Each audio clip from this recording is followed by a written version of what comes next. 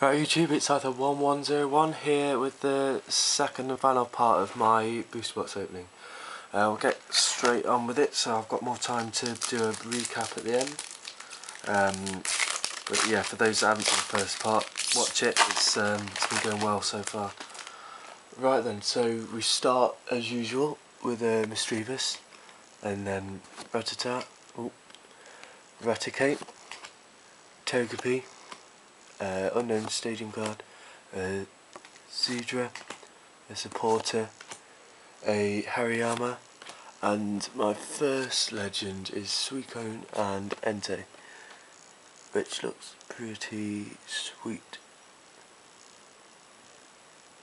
And in first edition, like all of these, which is awesome. So yeah, I've been waited quite long actually for my first um, legend with only a few few packs left. But um, see if we can get another one as well.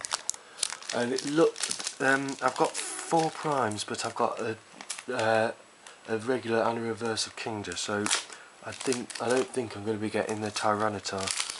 So if anyone's got that, they want to trade, or just destroy that pack, um, let me know because I'd love to have it.